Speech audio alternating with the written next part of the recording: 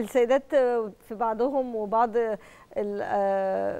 مختلف الشابات بتبقى حابة إنها تلجأ لأنواع من أنواع التوريد سواء بقى في أماكن مختلفة سواء في الخدود أو في الشفاء أو في غيرها.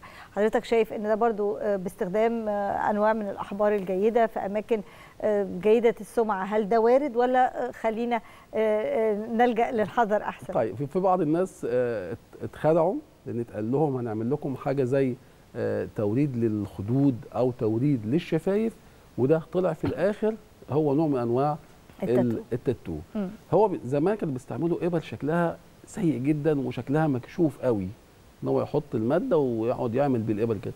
دلوقتي في حاجات شكلها شيك قوي تبدو إنها كأنها قلم أو تبدو إنها تعمل نوع من أنواع المساج الخفيف ولكن هي في الآخر بيطلع منها حب. بيطلع منها ابر بتدخل في الجلد. يعني نفس المادة. هي مش شايفاها.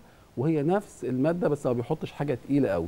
دول برضو آه هم بالظبط عملوا آه وشم وبياخد معهم وقت كتير في الإزالة. عادي عايز أقول لك الأخطر مش بيعمل في الخدود بس أو في الشفايف بس تفضل يعني اسيره لون معين هي مش حباه وغير شكل شفايفها وضايقها.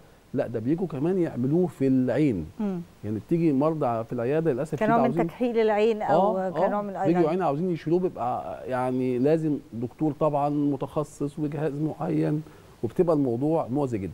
فده برضه نوع من أنواع الايه التاتو أو الوشم اللي لازم نبعد عنه.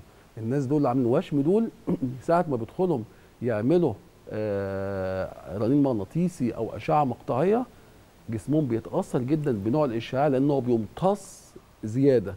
لو حابة تروح تعمل آه إزالة شعر آه بالليزر آه برضه في أماكن آه فيها في الأماكن تاتو؟ اللي فيها تاتو أنتوا عارفين إن أصلا ال ال الليزر ده بيستهدف اللون. نعم. زي ما بيستهدف لون الشعراية بيستهدف كمان لون التاتو فبيعمل تفاعل بيعمل حساسية فبيعمل مشاكل كتير جدا وده من التجميل الدائم.